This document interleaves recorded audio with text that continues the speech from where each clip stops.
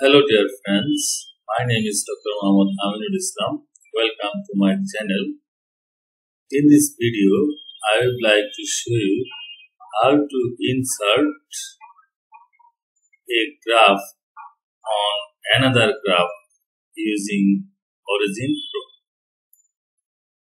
In order to do that, I have taken data and now select, click plot then scatter.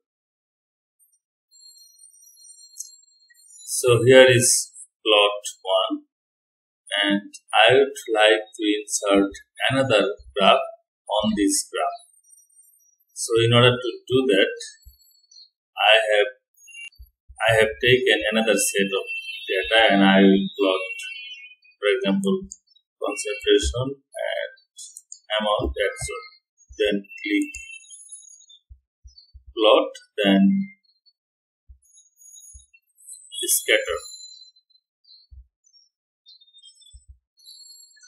So here is the plot of concentration versus amount adsorbed P. Now I would like to insert this plot into that plot. So in order to do that just Ctrl C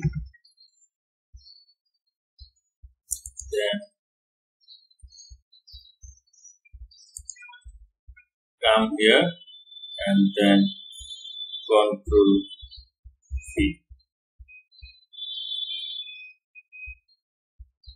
So see this uh, graph has been inserted. It is showing demo as I am using trial version of Origin.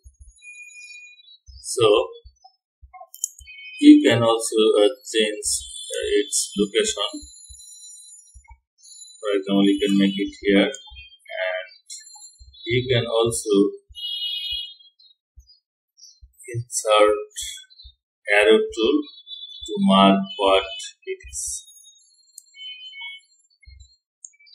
so this is how you can easily insert a graph in another graph using Origin Pro.